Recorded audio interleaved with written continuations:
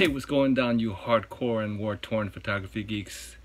This is Sam, and I am back with you today on another episode, a quick episode, Flashback Friday. Uh, today, we are going to be taking a ride through the time machine to the year 1996, and we're going to be looking at uh, the cameras of that time.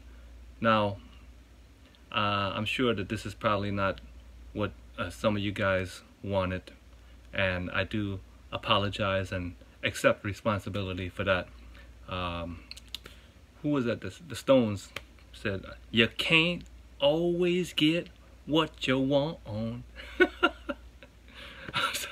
no, but you guys have been good, man. I am planning to give you guys everything uh, in good time. What is what is that that they say when they have no excuse? Uh, in God's perfect timing. Yes, everything will come to y'all in God's perfect timing. But today we're going to take a ride in the time machine to the year 1996, and let me tell you uh, what's it all about. Okay, so basically, what sparked this episode today uh, was I was going through my boxes of stuff and getting rid of stuff, and I came across a whole bunch of photography magazines. Now, as you can see, these are the British photography magazines, which I found very um, entertaining, especially back in those days.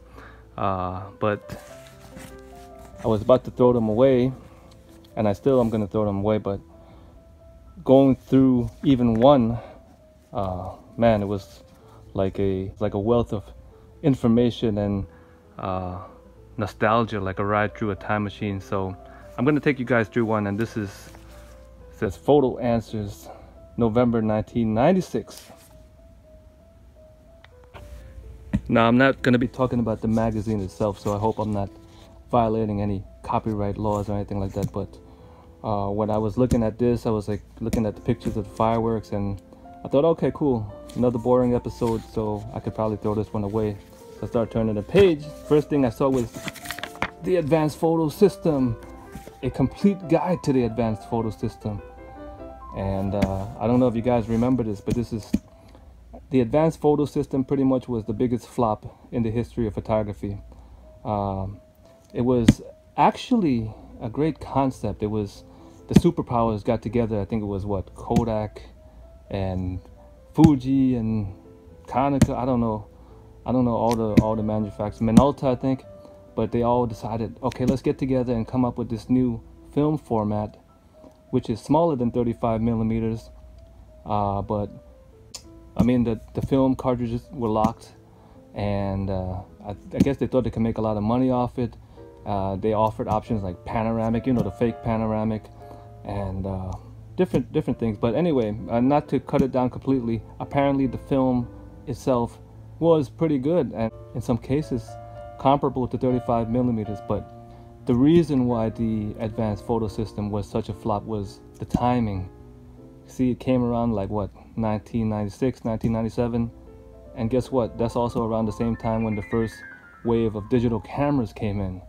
So that alone pretty much killed the advanced photo system. But anyway, that's the topic for another day. Let's take a look at some of the stuff we see here. What is this here? Kodak damn man. You know no wonder kodak failed in the digital camera business man because i mean come on who remembers this one? Oh right here.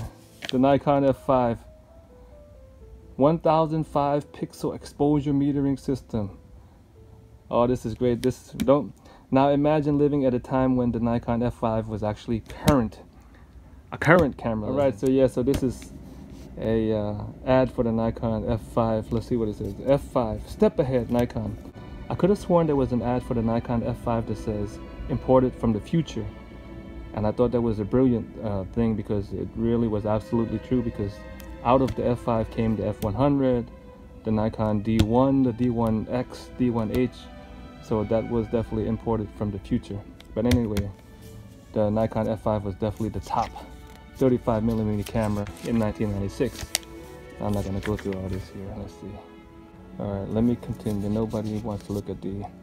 Nobody wants to. Nobody has time to read the photo clinic. Oh, what's this? Oh, Pentax. Pentax Z was it MZ5, which is otherwise the ZX5 or Z, ZX5N, something like that.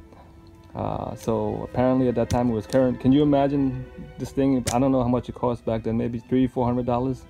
And nowadays you can probably get it for like what, 25 bucks. Sometimes I always I always see these cameras as is on KEH for like five dollars. So uh, they don't. They apparently haven't stood the test of time. I mean, it's not a bad camera really. I actually have one of those five dollar cameras. The problem is the chintzy body plastic like it just feels so plasticky. I guess it's like the Rebel Canon Rebel series. So it was it definitely was not a winner.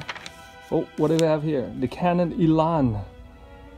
The Canon EOS 50E otherwise known as the Elan and the EOS 5 otherwise known as the A2E wow I had I had an A2E and it served me well for many years until I had that problem with the mode dial which is very common on those cameras but yeah, this is bringing me back some memories, man.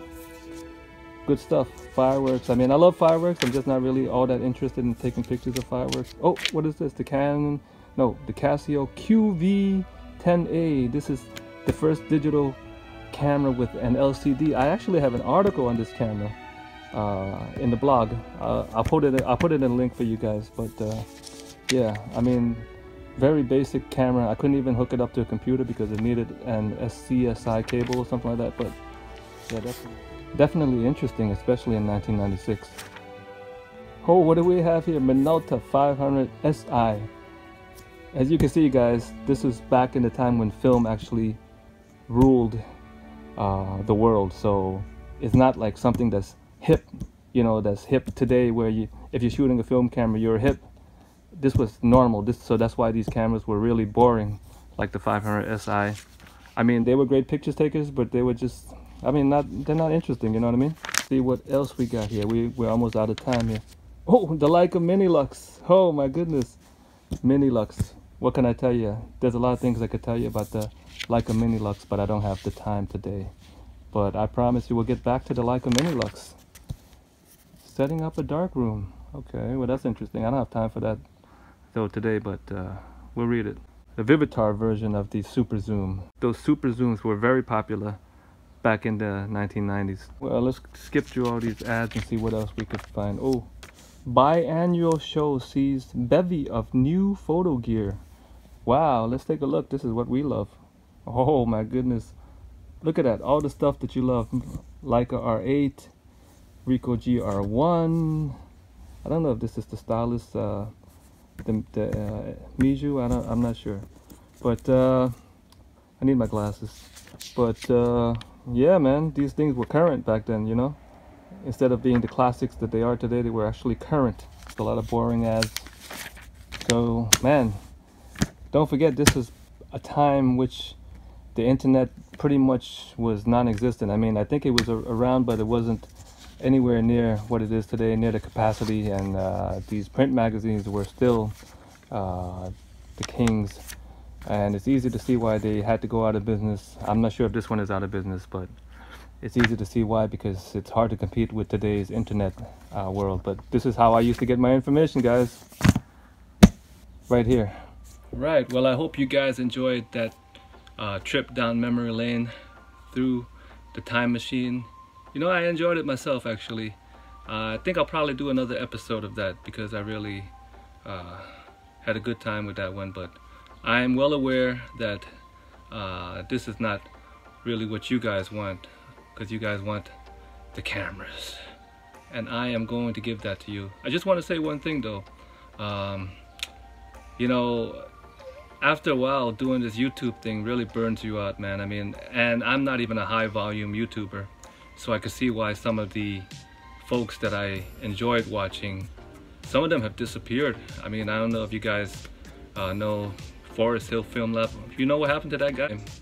It really burns you out. So, you know, you really, in the beginning, you think that, oh, this is great. I'm gonna make a YouTube channel and it's gonna be a lot of fun. But actually, it's a lot of work. It's the editing, you know, sometimes I have to do retakes because I feel like I didn't say the things right.